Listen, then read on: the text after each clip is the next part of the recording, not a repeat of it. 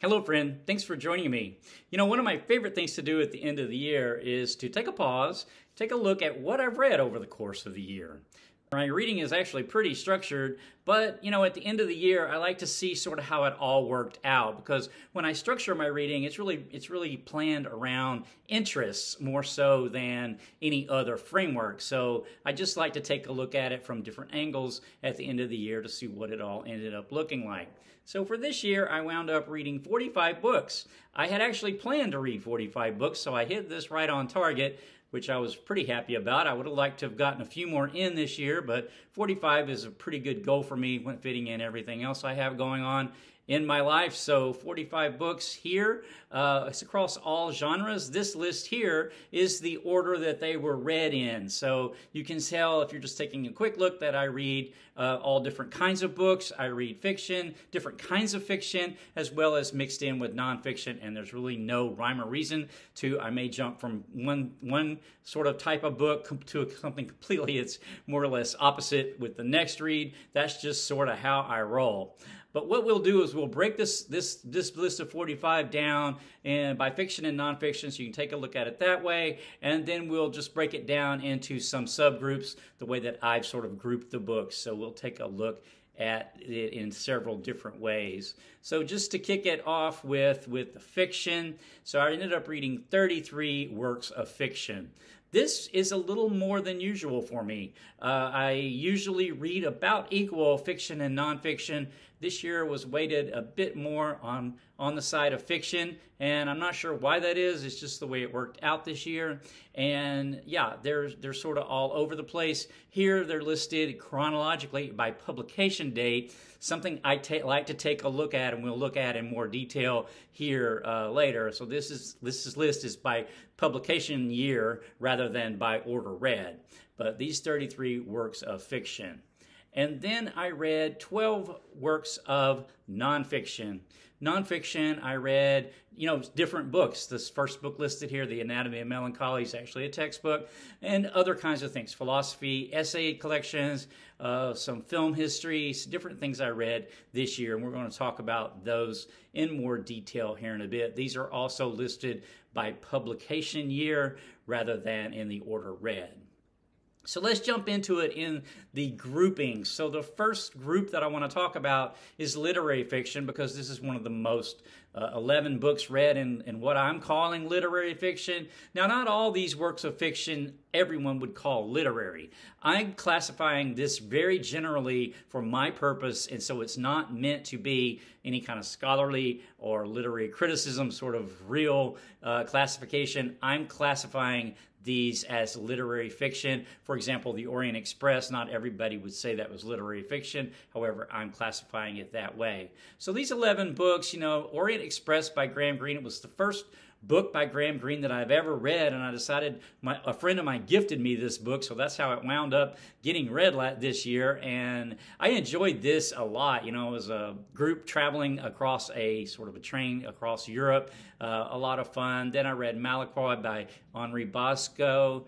This had been recommended by a, a, viewer, and I enjoyed that a lot. Sort of a mythological tale. The Great Man Theory by Teddy Wayne, one of my favorite living authors, contemporary author, had a new book out in 2022, so I got that read, loved it. And The Wind Up Bird Chronicle by Haruki Murakami. I've been reading through Murakami's works for a while now, so I decided to give that one a go. Loved it, of course. Sense of Sensibility by Jane Austen. I love Jane Austen, and I've been rereading her her books and chatting them here on my channel because I had read them last before I had a channel. So uh, happy to get Sense and Sensibility read, always an enjoyable experience for me. And then I tried The Vicar of Wakefield by Oliver Goldsmith uh, from 1766. This is another sort of village drama, uh, quite a bit different in tone than a, than a Jane Austen book, but nevertheless, uh, this picturesque sort of village life in England. I enjoyed it. Then I read Nicholas Nickleby by Charles Dickens. Uh, you know, I've been reading through his works as well, and they never disappoint. You know, I read All the Light We Cannot See by Anthony Doerr. I had read uh, Cloud Cuckoo Land last year and loved it. So uh, enjoyed All the Light We Cannot See this year. Uh, a Room with a View by E.M. Forster is, uh, I had read before, but I decided to give this a reread. Uh, sort of from the turn of like 1908, Edwardian kind of uh, young woman, sort of coming of age, uh, or really getting to know herself a little bit uh, in this book. It was kind of a, a love story combined with travel and just a lot of fun. Then I read the Book of Form and Emptiness by Ruth Ozeki. And this was the first book by Ruth Ozeki that I had read. I'd had this on my reading list for a couple of years, and I just loved this. This was so good. Then I uh, read Cakes and Ale by W. Somerset Maugham. I've been reading through Maugham works as well. So this year um, I decided to give Cakes and Ale a try, and I loved it. Um, you know, the next grouping that I'll talk about is I'm calling it philosophy spiritual. These are some works are works of philosophy. Others are more like theological or just works on the consciousness of the brain, things like that. So panpsychism in the, panpsychism in the West by David Skrbina. I had it's a survey of the philosophy of panpsychism, and I really got a lot from this book. And then I decided to read The Anatomy of Melancholy by Robert Burton. This is from the 17th century. It's actually a medical textbook, and it but it reads like a I don't know. It reads like a philosophy. Um, I just I loved it too. It's a significant read though, significant time uh, commitment there, but it was well worth it for me. Then I read The Abolition of Man by C.S. Lewis. This was the first C.S. Lewis, one of first of two books I read of C.S. Lewis this year, another one coming up. Then I read Saving the Appearances, A Study in Idolatry by Owen Barfield. The idolatry that's being talked about here is not what you think. This was a work of philosophy. It took a bit of, to, of work for me to get through this book, but it was worth it. I enjoyed it a lot. It's sort of a look at the evolution of human consciousness, and uh, so to me that's really interesting sort of phase that I've been going through over the last year or so. Uh, I read A Treasury of Albert Schweitzer, which were just excerpts of his writings. And then I read Dante's Divine Comedy, A Guide for the Spiritual Journey, as well as the Divine Comedy. I read these as a pair.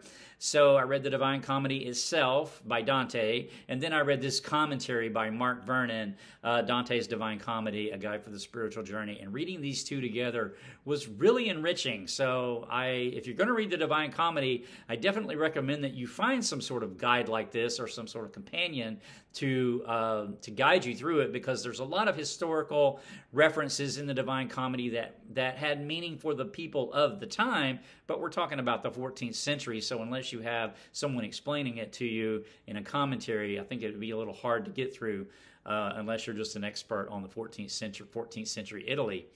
Anyway, I read The Prophet by Khalil Gibran, and that is kind of this poetry of a prophet departing wisdom to a local a town before he departs and it's really beautiful i really i had heard about this for a long time and i had not for some reason just put off reading it and it is really really good then i read this essays two essays the usefulness of useful knowledge by abraham flexner this is a really very um, well-known essay about you know knowledge for knowledge's sake and how uh, knowledge doesn't have to be practical in order to be useful. And I thought that was cool.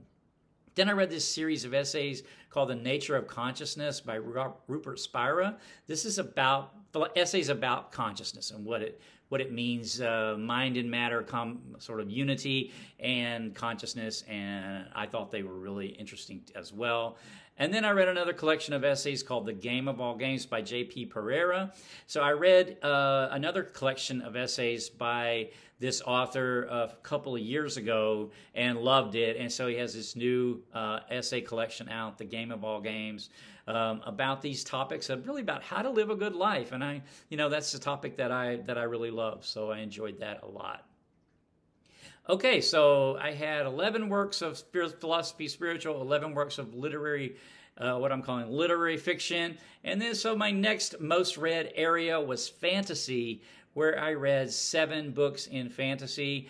I read four books of the Wheel of Time series by Robert Jordan A Crown of Swords, The Path of Daggers, Winter's Heart, and Crossroads of Twilight. So I've been buddy reading this series with a coworker, Anna, over the last two years. So we should finish out this series, all 14 books. We should finish that this series out in 2024. But I have a good time. You know, I enjoy this series. Then I read another uh, fantasy called The Greater Trumps by Charles Williams.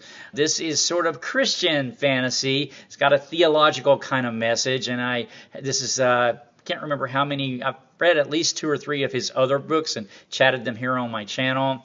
Um, then I read The Lion, the Witch, and the Wardrobe by C.S. Lewis. So I mentioned earlier I had read The Abolition of Man by C.S. Lewis, so I decided to also read this work of theological fantasy by C.S. Lewis.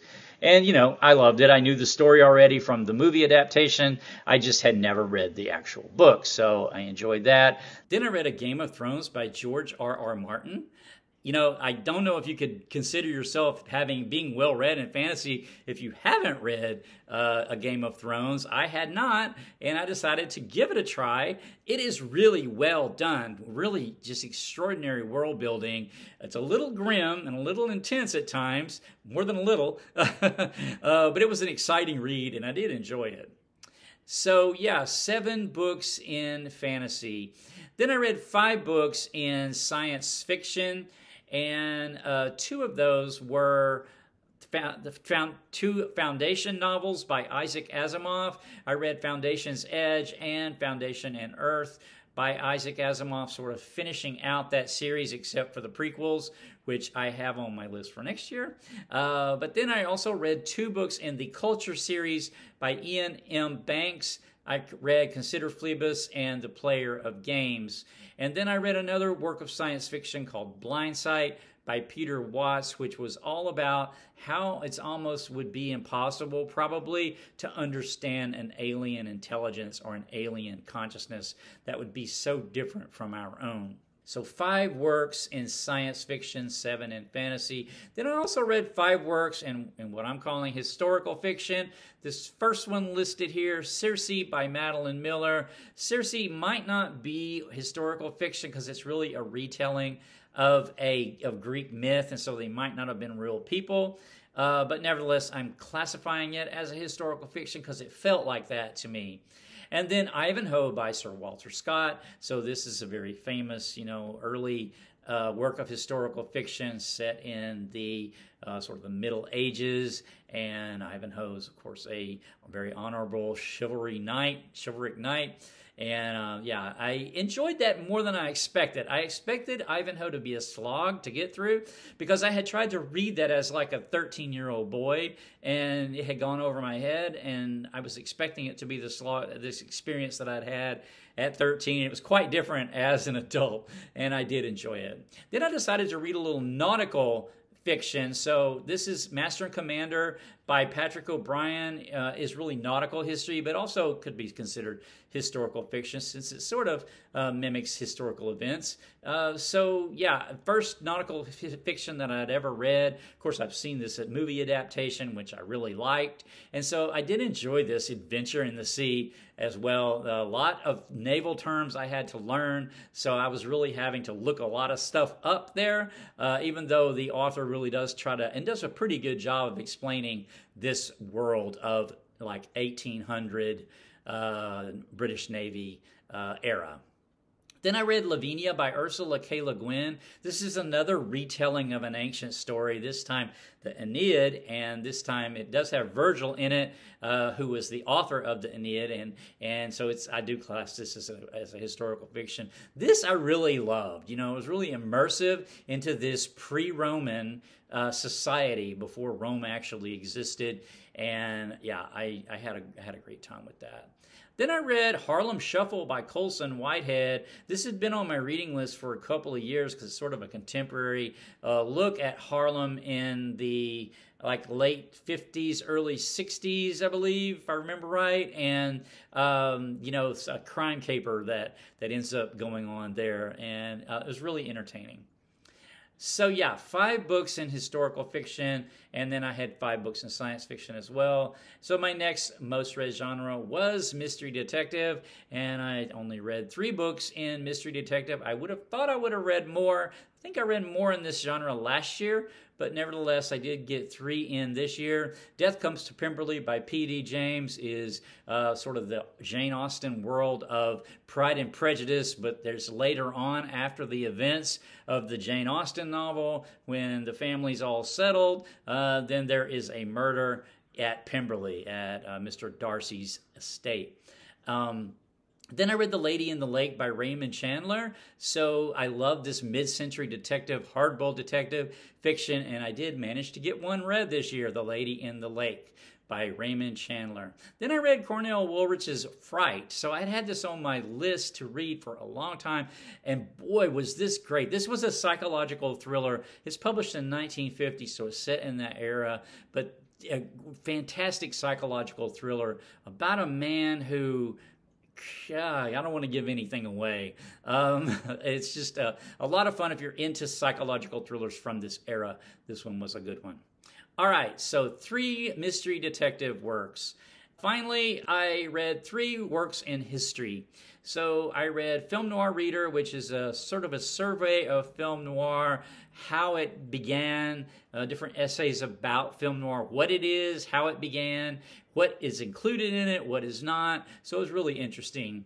Then I then I uh, read this book on the Scythians. I have been interested in the Scythians for a long time. Warrior Nomads of the Steppe by Barry Cunliffe. I had read another book by Barry Cunliffe that was also around the cultures of the steppe of Asia, and this this one, this warrior culture of the Scythians, I just found it fascinating. And wow, they are really they were really fascinating. Yet to us in the modern world, fairly brutal. Uh, but then in the ancient world, so much is compared to how we live today. Uh, but yeah, the Scythians, warrior nomads of the steppe, really a, an enjoyable historical read for me. And then I read A Distant Mirror, The Calamitous 14th Century by Barbara W. Tuchman. So the this, A Distant Mirror, Mirror is all about the 1300s. This one century, she takes a sort of a microcosm looking at this is the this is the century of the plague, the Black Death, this is the century of when chivalry was starting to, you know, it, uh, we were moving out of the Middle Ages and about to begin the Renaissance. And so there was this, this, transition period. So, yeah, I enjoyed that a lot. Barbara Tuchman is a fantastic historian to popularize history, and I enjoyed it a lot. Okay, so another way I mentioned that I like to take a look at the books that I've read is actually by publication year. Again, this year, I'm you can definitely tell that I'm a backlist reader as opposed to a frontlist reader. You know, backlist readers and frontlist readers are equally important, I think, to publishing. The frontlist readers are those who support those new authors and support those new works, getting those new works out there. But the backlist readers are those who support, you know, the keeping things in print, keeping the older titles in print and keeping them out there and circulating. So we all have a role to play. I think this year I've definitely been a backlist reader supporter, uh, but nevertheless, I do appreciate those frontlist readers as well. So you can tell here from the 21st century, I read 15 books out of the 45. And I only read, you can see down at the bottom there, uh, one book that was published in 2023, The Game of All Games by J.P. Pereira. And, um, but I did read, uh, looks like I read works from every decade of the 21st century. Of course, we're only working on our third decade now. So, um, yeah, uh, we uh, have a long ways to go in this century yet, but nevertheless, I read 15 books from the 21st century. So the youngest book I read was The Game of All Games by J.P. Pereira, this book of essays published in 2023. And then you can see the 20th century was the century that I read the most in. That's 24 books. Of course, this century I have all 10 decades there to work with in the 20th century. So um, I read a book from every decade of the 20th century, with the exception of the 19 teens. So it looks like I'm missing the 19 teens there uh, for some reason, but every other decade was represented uh, through the 20th century. And again, I don't plan that. That's just how that has worked out uh, for my reading for 2023. And then for pre 20th century books, I read six. So the oldest book I read is actually The Divine Comedy by Dante, originally written in 1320. That's the oldest book. The newest book would have been The Game of All Games, the book of essays by J.P. Pereira. So, most read authors uh, Robert Jordan, the author of the Wheel of Time series. No surprise, I guess, that he is the most read author. Four books. I read two books by Isaac Asimov, two books by Iain M. Banks, those culture novels, and then two books by C.S. Lewis. And everybody else all the other authors just got one read. All right, I will leave this chat there. I hope I didn't ramble on too long. This may not be interesting to other people, but it's always really interesting to me, and I enjoy talking about it. Anyway, I hope you also had a great reading year, and I hope you have lots of good reading planned for 2024. I know that I do. As a matter of fact, these are some of the books I do have prioritized to read in 2024, and I will have a separate video coming up on my reading plans for 2024, so stay tuned for that.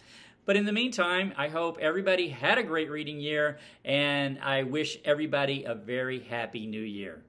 Until next time, take care.